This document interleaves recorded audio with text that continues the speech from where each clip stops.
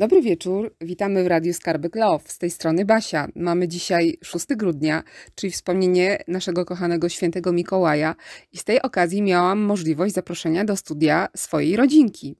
Jest z nami mój mąż Marek, syn Maciej i córka Marysia. Kochani, y, dzisiejszym tematem, jaki będziemy poruszać, jest temat wdzięczności. I może zaczniemy od Marka. Y, co to jest wdzięczność? Jak myślisz? No, wdzięczność to pozytywne uczucie, które się w nas pojawia, kiedy ktoś coś dla nas zrobi dobrego. No, myślę, że każdy lubi to uczucie. No, dzięki. A co ty powiesz, Maciej? Wdzięczność to jest uczucie, które możemy odczuwać, kiedy na przykład ktoś nas przytuli, da nam jakiś prezent. Super, Maciej. A co ty powiesz, Marysiu? Wdzięczność to uczucie, które odczuwamy, kiedy zrobi, kiedy dostaniemy coś miłego od kogoś, albo ktoś zrobi dla nas coś miłego, pocieszy nas. No, super. Fajnie. Dzięki. Y, To wiemy już, co to jest wdzięczność.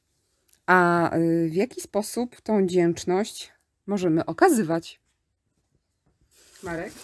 No, wdzięczność możemy okazywać poprzez słowo dziękuję. Możemy kogoś przytulić, dać jakiś drobiazg. Super. A co ty powiesz, Maciej?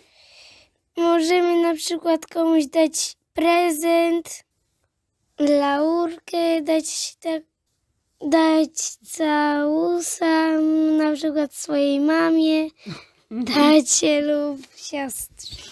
Super, dzięki. A co ty powiesz, Marysia?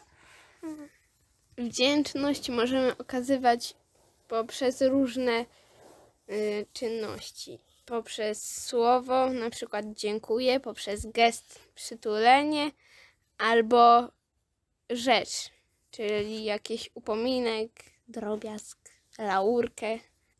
No. Tak więc, kochani, y, wiemy już, co to jest wdzięczność, wiemy, w jaki sposób możemy okazywać wdzięczność.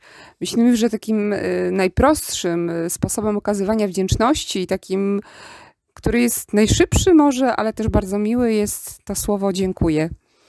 Uczmy się dziękować każdego dnia za to, co otrzymujemy i bądźmy wdzięczni.